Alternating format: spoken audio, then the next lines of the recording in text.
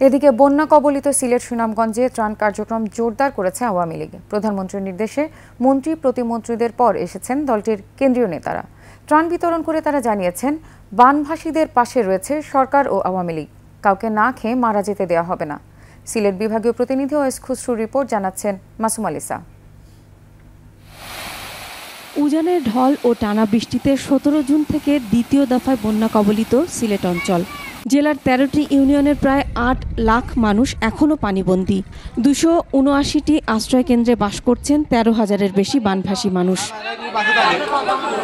আওয়ামী লীগের ত্রাণ ও সমাজ কল্যাণ উপকমিটির ব্যবস্থাপনায় সিলেট ও সুনামগঞ্জে ত্রাণ বিতরণ করে চলেছেন প্রেসিডিয়াম সদস্য ও পাটমন্ত্রী জাহাঙ্গীর কবির নানকের নেতৃত্বে কেন্দ্রীয় ও স্থানীয় নেতাসহ জনপ্রতিনিধিরা। বন্যা থেকে সিলেটকে স্থায়ীভাবে রক্ষার উদ্যোগের কথা জানান তারা। স্থানীয় নেতারা প্রথম থেকে কাজ করছেন। সংসদ সদস্যরা কাজ করছেন। নির্বাচিত কাউন্সিলররা কাজ করছেন। নির্বাচিত চেয়ারম্যানরা কাজ করছেন।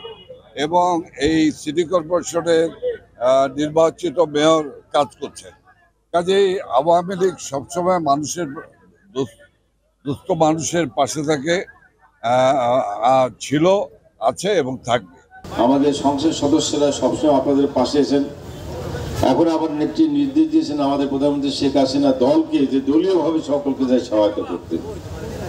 আমরা কিন্তু এখানে এসেছি আমাদের প্রধানমন্ত্রী শেখ হাসিনা নির্দেশে। প্রধানমন্ত্রীর নির্দেশে জনগণের পাশে থেকে প্রথম দিন থেকেই বন্যা মোকাবেলা করে যাচ্ছেন বলেও জানান নেতারা।